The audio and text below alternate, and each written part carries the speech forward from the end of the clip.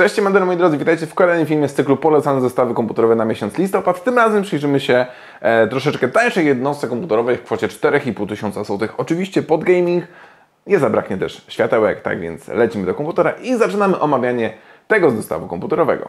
Tradycyjnie, moi drodzy, zaczynamy tutaj od procesora i postawiłem na może nie najnowszą jednostkę od Intela, ale za to jak najbardziej nadal fajnie wydajną. W kwocie 4,5 tysiąca złotych można wybrać bardzo prosto, między Ryzenem 5 5600 bądź 5600XM, a właśnie Intelem i5 12400F. Dlaczego wziąłem Intela w tym przypadku? Z prostego powodu, mianowicie e, sama platforma na Intelu e, jest porównywalna cenowo, co prawda, jak AMD, ale jednak e, tutaj mamy możliwość obsadzenia tych procesorów 13 bądź 14 generacji. Ja wiem, na AMD też możemy wsadzić coś mocniejszego, typu właśnie takiego Ryzena 7 5800X 3D, Jasne, jak najbardziej. Natomiast mimo wszystko tutaj jest postawiłem na Intelu na fajną płytę główną, dzięki czemu nawet 14 generację będziemy mogli obsadzić, która mimo wszystko, że e, jest ciepła i jest dość droga, ale za parę lat, na przykład jak będziecie chcieli zrobić upgrade, spokojnie możecie tutaj e, liczyć na to, żeby e, właśnie używanego takiego i piątkę i siódemkę 14 generacji oczywiście wsadzić. Tutaj nie ma najmniejszego problemu. Dlatego no, tutaj tak naprawdę jeżeli chodzi o wybór platformy, to jest kwestia dość yy, rozwojowa i co wolicie, to e, weźmiecie, tak jak mówię, Ryzen 5600X czy 12400F. E, tutaj jest dowolność, ja tym razem postawiłem na Intela. E, no i też mniej więcej w większości grach 12400F jest kapkę wydajniejsza od zwykłego 5600 bez Xa, ale myślę, że jak dorzucimy tutaj Xa, czyli weźmiemy Ryzena 5600X, to te procesory się zrównują wydajnościowo. No I cenowo też się zrównują, więc lecimy dalej do płyty głównej. Płyta główna MSI B760 Gaming plus Wi-Fi. Dlaczego taka? E, z prostego powodu. Mamy naprawdę fajną sekcję zasilania, w pełni chłodzoną potężnymi radiatorami, więc tutaj nie ma obawy o obsadzenie mocniejszych procesorów e, w przyszłości. Mamy pełnego ATX-a, Mamy również tutaj dwa e, złącza M2, e, jedno z shieldem, no i mamy Wi-Fi, tak? To jest też bardzo kluczowe, bo wiem, że wielu z Was po prostu potrzebuje łączności bezprzewodowej w waszym e, PC. Mm. Jeżeli chodzi o samą płytę główną, no to to jest taki standardzik, tutaj nie ma jakichś fajerwerków, nie ma e, jakichś e, super turbo dużej ilości rozbudowanych złącz. Na pewno im plus, że mamy sporo wejść na wentylatory na samym laminacie płyty głównej, więc też te rozbudowane obudowy, które mają wiele, wiele śmigieł, jak najbardziej podłączycie bezpośrednio pod płytę główną. No i też na panelu wejść, wyjść e, na pewno przekonującym jest to, że mamy no, stosunkowo dużo USB-ków, ale e, mamy rozbudowaną dźwiękówkę wraz z wyjściem e, cyfrowym, co jest moim zdaniem dużym plusem, jeżeli ktoś chce fajny, rozbudowany zestaw audio podłączać właśnie do tej płyty głównej. A sam kodek dźwiękowy jest podstawowy ALC897, no ale z racji, że mamy rozbudowaną dźwiękówkę, no to mimo wszystko będzie to grało nawet, nawet dobrze, bo możemy cyfrowo podłączyć właśnie nasz zestaw audio. I lecimy dalej. Do pamięci operacyjnej tylko 16 GB. No niestety, ale z drugiej strony teraz flesze podrożały. E, doskonale to widzę, bo niestety e, strasznie podrożał RAM i e, dyski SSD. E, no ale dzięki czemu też możemy sobie w przyszłości, wiadomo, rozbudować. Tutaj nie ma najmniejszego problemu, bo mamy w standardzie dwie kości oczywiście, ale mamy cztery banki na RAM na płycie głównej, więc jak najbardziej możemy sobie w przyszłości dorzucić kolejne dwie kości gdzieś z wyprzedaży, gdzieś z promocji, po prostu szukać i e, dorzucić do chociażby 32 czy nawet większej ilości pamięci operacyjnej. Na start te, 30, te 16 GB jest tutaj kompletnym minimum. 2 razy 8 GB 3600 MHz CL18, Patriot Viper Steel. Fajne pamiątki, nieraz je miałem gdzieś e, w komputerach, które składałem. Naprawdę, naprawdę dobre pamięci z tych tańszych. Niestety bez RGB, ale jednak budżet nie jest gumy i tutaj musiałem się trzymać tego, żeby e, w tym budżecie maksymalnie się zmieścić. Dlatego takie, a nie inne. Dysk bez zaskoczenia chyba.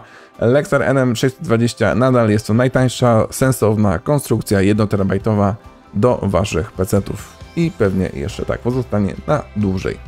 Nie będę się tu zatrzymywał, bo konstrukcja myślę wszystkim dobrze znana. Obudowa. Obudowa, którą testowałem i mój drogi widzu, jeżeli chcesz zobaczyć jej dokładną recenzję, to koniecznie sprawdź linka w rogu ekranu, gdzie się właśnie tobie wyświetla na ekranie, e, gdzie bezpośrednio odsyłam Cię do e, testu właśnie tej obudowy. Dlaczego ją polecam? Z tego tytułu, że wywarła ona na mnie bardzo pozytywne wrażenie. Była mega cicha, a do tego naprawdę przewiewna, no i do tego też mamy cztery śmigła e, ARGB w standardzie z tego co pamiętam. Wentylowany front z siateczką, Na topie też mamy siateczkę, więc jeżeli chodzi o filtrowanie jest jak najbardziej e, tutaj wszystko e, ok. Jeżeli chodzi o całą resztę typu jakość wykonania czy spasowanie blach, też było naprawdę, naprawdę dobrze. Za 289 zł moim zdaniem rewelacja i tutaj konkurencja ma się czego bać, bo mimo, że ta obudowa nie jest jeszcze popularna, tak myślę, że za jakiś czas stanie się naprawdę hitem sprzedażowym. Sami zresztą, jeżeli ją zakupicie, to przekonacie się, że był to dobry wybór. Lecimy dalej do zasilacza FSP e, Fortron Hydro K Pro 750W jednostka. I od razu zaznaczam, jeżeli e, będą tradycyjnie dwie karty graficzne do wyboru dla fanów Nvidia i dla fanów AMD. Jeżeli bierzecie e, kartę od AMD, to możecie, no musicie wziąć tak naprawdę tą wersję 750W. A jeżeli weźmiecie kartę od Nvidia, to możecie sobie wziąć o 50 zł tańszy zasilacz 600W, ale nie musicie. Jeżeli chcecie, to oczywiście e, jak najbardziej weźcie tą 750W jednostkę, będzie zapas na przyszłość, będzie lepiej, e, dlatego w koszyku też macie 750W konstrukcję. No i cóż, pozostały nam właśnie karty graficzne. To może przejdźmy klasycznie od zielonych do czerwonych. E, od zielonych mamy e, RTX 4060 Ti, wersja e, PNY czy też PNY. Zależy czy, tam, czy czytam po polsku, czy po angielsku. Verto Dual Fan. Nie będzie to najlepsza wersja 4060 Ti, ale za to jest najtańszą wersją, która ma 16 GB pamięci VRAM. Jeżeli ta karta byłaby niedostępna po jakimś czasie publikacji tego materiału, to koniecznie sprawdzajcie inne propozycję, ale podkreślam, tylko i wyłącznie z 16 GB pamięci VRAM. Wersja 8 GB moim zdaniem nie ma większego sensu, dlatego e, polecam Wam tutaj wersję z 16 GB. No i nie spodziewałem się od tej karty zbyt wiele, e, po prostu będzie tania, przyzwoicie zrobiona. Jeżeli chodzi o kulturę pracy, to mam nadzieję, że nie będzie też jakąś turbo suszarką. Jedna wtyczka 8-pinowa tylko do zasilania, więc y, też te power limity tutaj nie, nie będzie dało się ich wyśrubować e, w jakieś kosmiczne wartości, no ale z drugiej strony e, cena czyni cuda, no i nie bez powodu ta karta jest najtańszą wersją 4060 Ti 16 GB.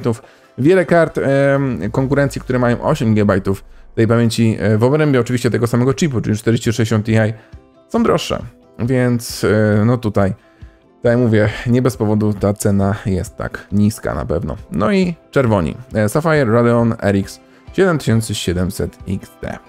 Naprawdę spoko karta. E, wydajnościowo e, w czystej rasteryzacji pewnie będzie wydajniejsza niż Nvidia, no ale wiadomo, mamy czasy jakie mamy, no i teraz większość gier jednak korzysta z tych wszystkich dobrodziejstw technologii, czy to od Nvidia, czy to od AMD, no i technologii AI, tak, więc tutaj Wybór pozostaje Wam, moi drodzy widzowie. Jedna i druga będzie dobrym wyborem.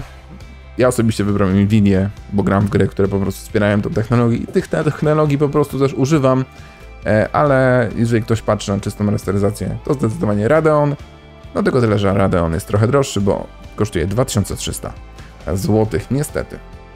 Ok, koszyk więc się prezentuje tak, 4523 zł. No i tak jak mówiłem, jeżeli chcielibyście zejść poniżej 4500 zł, no to weźcie zasilacz sobie 600 W, oszczędzacie 50 zł. Wtedy jesteście idealnie poniżej 4,5 tysiąca złotych. Jeszcze tak na koniec napomnę, że jeżeli ktoś by chciał i miał takie pieniądze, to e, tak, a chociażby Fera 5 od Endorfi tutaj będzie idealnym kulerem, a żeby fajnie schłodzić e, nasz procesor, żeby po prostu było ciszej. Box, no da sobie radę, ale będzie głośny, to od razu wam mówię. E, więc e, jeżeli ktoś by miał, to taka Fera 5, nawet od biedy Spartan 5 też będzie milion razy lepszym rozwiązaniem, aniżeli fabryczny box od Intela. Tak jak mówiłem, wybór pozostawiam Wam, czy e, Nvidia, czy Radeon, czy zasilacz 650, przepraszam, 600W, czy 750W, to już należy do Waszej kwestii, do wyboru. Wszystkie linki do wszystkich komponentów, jak i całego koszyka tradycyjnie zostawiam Wam w opisie tego materiału. Natomiast e, jeżeli materiał Wam się podobał, to będzie mi niezmiernie miło, jeżeli pozostawicie po sobie łapę w górę, subskrypcję na tym kanale, co nie, nie ominęły Was właśnie kolejne filmy. E, piszcie, co Wy sądzicie na temat tego zestawu komputerowego w sekcji komentarzy. Może coś ostatnio składaliście, pochwalcie się tym również w sekcji komentarzy. Będzie mi niezmiernie miło. Natomiast ja się z Wami będę żegnał. Do zobaczenia, do usłyszenia.